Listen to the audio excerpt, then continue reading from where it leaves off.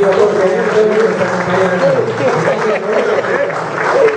Ricardo, ¿cómo lo ha recibido Vicente López? Bueno, muy, con mucho afecto, con mucho cariño.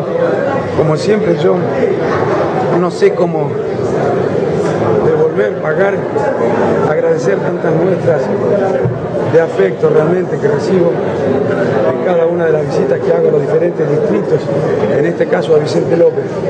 La mejor manera tal vez de hacerlo dar todo lo que puedo, hacer todo lo que puedo, sacrificarme todo lo que pueda y en el marco de mis limitaciones personales, bueno, tratar de aprender cada vez más acerca de los problemas de los argentinos y estudiar mucho para encontrar la forma de resolver. En este distrito en particular hay mucha expectativa sobre un posible acuerdo con otras fuerzas políticas progresistas ir juntos de cara a las elecciones. Eh, y usted este, la necesidad de recuperar la militancia también de difusión de las ideas.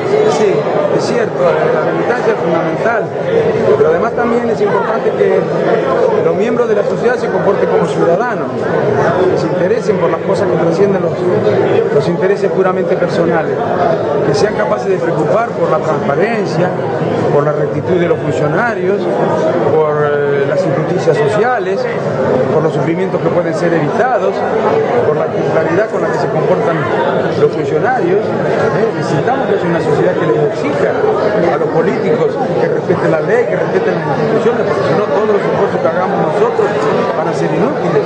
Tiene que haber una sociedad que comprenda. No se progresa en ningún país si no es con mucha responsabilidad, con mucha seriedad por parte de los políticos. Y en esto me estoy refiriendo no solo al oficialismo, sino también a la oposición. ¿Y usted eh, está dispuesto, lo dijo el otro día, a, si es necesario ir a un, en un segundo lugar en la lista de diputados, pero hacer un Sí, absolutamente. Cuando empezaron a empantanarse las conversaciones que parecía que se ponía en marcha un proceso que no sería revertido, que frustraría la, posibilidad de un acuerdo, dije, bueno, si son estas las cosas que complican el acuerdo, no tengo ningún problema.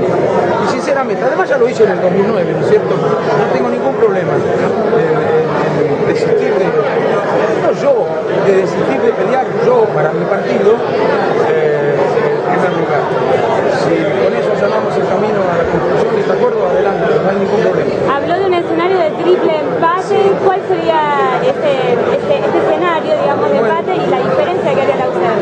No, eh, digo, el triple empate, eh, eh, Triple play. triple play, 22 para, 22% para el oficialismo, en realidad la que está medida es este, Alicia Kirchner. Pero no la hicimos nosotros la encuesta, nos han llegado. No las he visto publicadas, ¿quiere que le diga la verdad? Eh, 22%, eh, 22% el peronismo disidente y 22% un acuerdo entre el FAP y nosotros, números más, números menos, hacemos un mix de todas las encuestas ese promedio que daría. Eh, habrá que ver qué pasa si finalmente juega masa, porque ahí se modifica si juega para el oficialismo o para la oposición, no sé, yo no creo que juegue.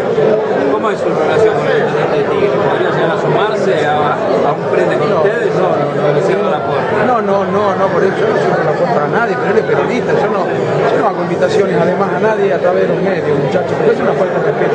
Ustedes quieren que alguien no se sume, a través de los medios, pero este, no, pero nosotros pensamos cosas distintas. Ellos han estado acompañando, valorando positivamente todo lo que ocurrió durante estos años, incluso han sido parte del gobierno. Nosotros tenemos una mirada muy crítica respecto de cuestiones importantes de este gobierno que no comparten los que han formado parte del gobierno.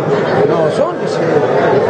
Lo que pasa es que el justicialismo suele utilizar este recurso. Cuando las cosas se complican, generan la propia oposición y salen a diferenciarse del gobierno del que formaron parte hasta hacía 24 horas. Pero bueno, espero El tema de la, de la- cuenta. de la elección primaria, ¿no? Y después este, la general. ¿No genera como después, este, bueno, voto al que le puede ganar al gobierno, ¿no? Eh, Como, como un balotaje encubierto, ¿no? Exactamente. Ese es el problema que puede ocurrir con lo que yo decía de las encuestas. La encuesta del 14, de la primaria es una encuesta. Entonces puede ser que la gente que votó el 14 a un partido termine votando a otro después, porque se dio cuenta el 14 de que el único que le puede ganar es ese otro. Yo les diría que no hagan eso, en este caso no elegimos gobierno, no elegimos presidente, ni elegimos gobernador, elegimos diputado.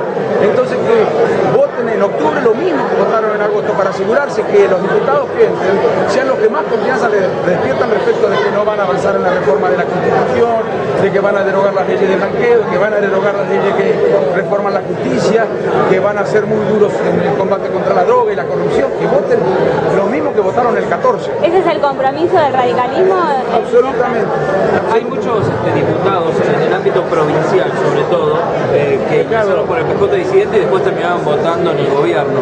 Eso la gente mucho no lo conoce, ¿no? En el sentido, no, está en Exactamente, exactamente. A mí mucho de eso en la legislatura de la provincia de Buenos Aires.